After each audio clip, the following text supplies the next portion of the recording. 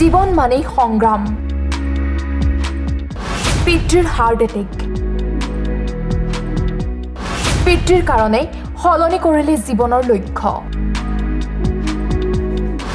Delivery boy উত্তীৰ্ণ লোকসেৱা আয়োগৰ পৰীক্ষাত। দুহেজাৰ ঊনৈছ চনতেই এটা ব্যক্তিগত প্ৰতিষ্ঠানত তেওঁ কৰ্মৰত আছিল।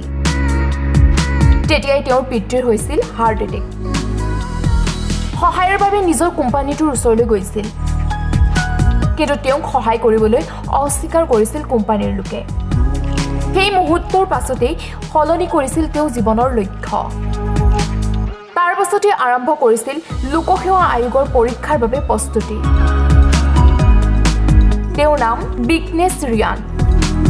প্ৰস্তুতি আৰম্ভ কৰাৰ পাছতেই কভিড মহামাৰীৰ ফলত সকলো সমসাময়িকভাৱে বন্ধ হৈ গ'ল।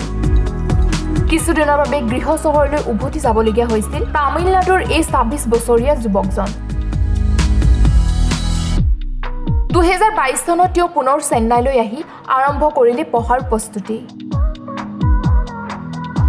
ইয়াৰ মাজতে তেওঁ নিজৰ খৰচ বহন কৰিবলৈ পাৰ্ট টাইম জমেটো ডেলিভাৰী হিচাপে চাকৰি কৰিলে।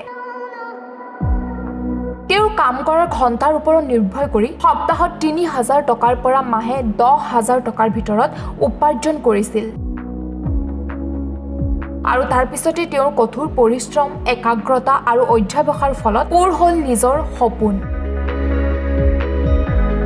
তামিলনাডু লোকসেৱা আয়োগৰ পৰীক্ষাত এইবাৰ সফলতা লাভ কৰিলে বিঘ্নেশ ৰিয়ানে। News desk report time eight.